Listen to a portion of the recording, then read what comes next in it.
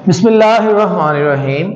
सल्लल्लाहु ताला अला व अला आलिहि व सहबिहि व बारिक वसल्लम स्टूडेंट्स हम लोगों ने बैंक रिकॉन्सिलिएशन स्टेटमेंट जो है वो सीखने का सिलसिला शुरू किया हुआ है।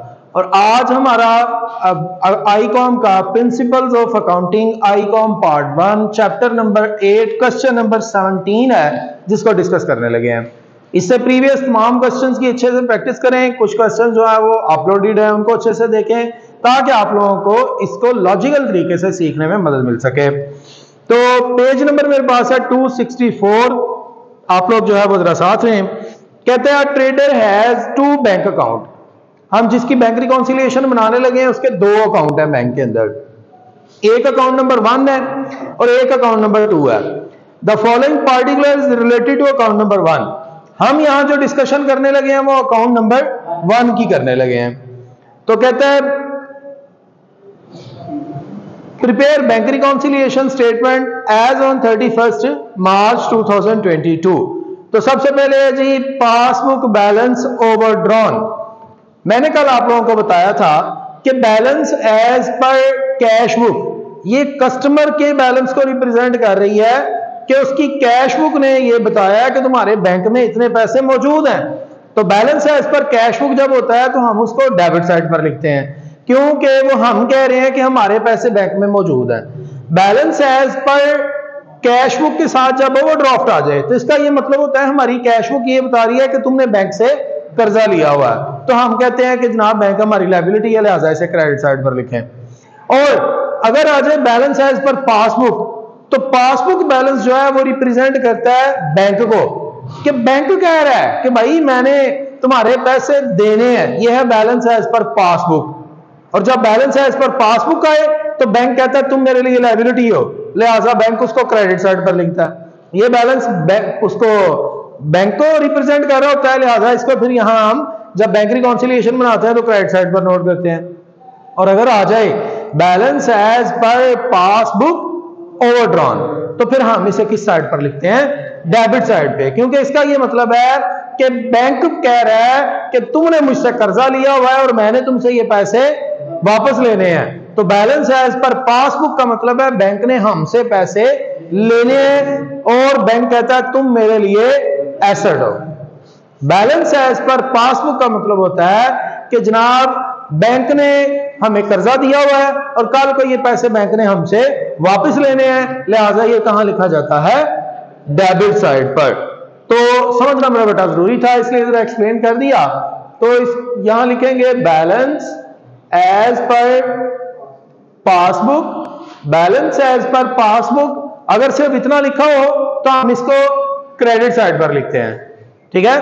क्योंकि बैलेंस एज पर पासबुक का मतलब होता है बैंक कह रहा है कि मैंने तुम्हारे पैसे देने हैं, तुम मेरे लिए लाइबिलिटी हो, लिहाजा क्रेडिट और बैलेंस एज पर पासबुक के साथ जब क्या आ जाए ओवरड्राफ्ट या ओवरड्रॉन तो इसका मतलब होता है बैंक कह रहा है कि मैंने तुमसे पैसे लेने हैं, क्योंकि तुमने मुझसे कर्जा लिया हुआ है। लिहाजा उसको फिर डेबिट साइड पर बैंक नोट करता है। हमने भी ये बैलेंस जो है, वो बैंक को रिप्रेजेंट कर रहा है, इसलिए फिर बैंक की मानते हुए से डेबिट साइड पर लिखा है। नेक्स्ट में बेटा, कहता है चेक ड्रॉन चेक ड्रॉ करने का मतलब है चेक इशू करना। तो कहते हैं cheque drawn prior to thirty first March हाँ हमने थर्टी फ़र्स्ट मार्च को चेक जनाब ड्रॉ किया but not presented as yet लेकिन अभी तक वो बैंक में पेश नहीं हुआ। ये है वो चेक जो हमने इशू तो कर दिया है, लेकिन अभी तक बैंक में पेश नहीं हुआ। ड्रॉन और इशू दोनों सेम है तो यहाँ लिखेंगे चेक इशूड या आप ड्रॉन लिख लें cheque issued but not presented for payment हाँ हमने जो है वो चेक बैंक में, और लोगों को दे दिया जाओ जाके पैसे ले लो। चेक इशू कर दिया चेक ड्रॉ कर दिया लेकिन लोगों ने जाके बैंक से पैसे नहीं लिए तो हमने वापस उसे डेबिट साइड पर लिख दिया। सोलह हज़ार। ले जनाब तो ये है balance as per sorry cheque issued but not presented next number बेटा कहता है interest debited by bank but not entered in cash book yet interest debited bank ने जो है वो हमसे सूद लिया है। क्योंकि बैंक जब हमसे सूद लेता है तो बैंक हमारे अकाउंट को डेबिट करता है। बैंक कहता है, तुम मेरे लिए लाइबिलिटी नहीं हो। और हमारे लिए इसका ये मतलब होता है कि बैंक हमसे सूद लिया है। और बैंक ने हमें अपनी लाइबिलिटी कम कर दी है तो इसका मतलब है हमारे अकाउंट में कमी हो गई है। और वैसे भी आप अगर इसको क्वेश्चन के वो हिस्ट्री में देखें तो हमने बैंक से कर्जा लिया हुआ है। Balance as per passbook overdrawn का मतलब है बैंक कह रहा है, मैंने तुमसे पैसे वापस लेने हैं। तो जब हमने बैंक से कर्जा लिया हो तो उसके ऊपर हमने बैंक को सूद देना होता है। तो लिहाजा ये जो इंटरेस्ट है, ये ओवरड्रॉन के ऊपर है। बहरहाल, यहाँ लिखेंगे interest debited by bank bank ने जो है वो इंटरेस्ट चार्ज किया, जिसकी वजह से हमारे अकाउंट में कमी हो गई। तो आप इसको इंटरेस्ट चार्ज बाय बैंक भी लिख सकते हैं। इंटरेस्ट चार्ज बाय बैंक ये ज़्यादा इजी है। Interest charge by bank next में बेटा। कहता है transfer from account number two to account number one account number two से पैसे किधर आए हैं? अकाउंट नंबर वन में। तुम खड़े होकर पढ़ो। जी अकाउंट नंबर टू से पैसे अकाउंट नंबर वन में आए हैं। Recorded by the bank bank ने इनको रिकॉर्ड कर लिया मार्च में but not entered in cash book भाई अकाउंट नंबर टू से पैसे कहाँ आए हैं? वन में, और ये हम काम भी कब का कर रहे हैं? किसका कर रहे हैं? वन का।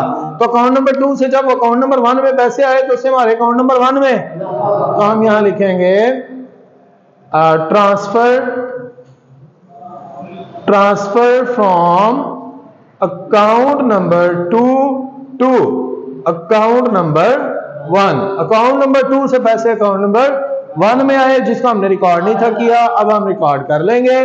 क्योंकि जब टू से पैसे वन में आएँगे तो वन में इजाफा हो जाएगा, और हम ये काम भी वन का कर रहे हैं। लिहाजा हमने वन को डेबिट कर दिया। लास्ट है कहता है? Bank charges debited by the bank but not recorded in cash book bank ने हमसे चार्जेस लिए हैं और बैंक जब भी हमसे चार्जेस लेता है तो उससे हमारे अकाउंट में कमी होती है। तो हम लिखेंगे बैंक चार्जेस कितना जी? चालीस रुपए। सवाल जो है वो मुकम्मल है। टोटल करें, बड़ी साइड को दोनों तरफ़ लिखें, छोटे वाली माइनस करें। साठ और सोलह, छिहत्तर छिहत्तर और दस, छियासी और दो, अठासी। अठासी हज़ार रुपया ये बड़ी साइड है, इसको दूसरी तरफ़ भी लिखें और उसमें से 1600 और 40 रुपए को माइनस कर दें। जो जवाब आएगा, उसको हमने छोटी साइड की तरफ़ ही लिखना है। छियासी हज़ार तीन सौ साठ। दुरुस्त है आंसर इसको हम बोलेंगे balance as per cash book क्योंकि ऊपर क्या लिखा हुआ है?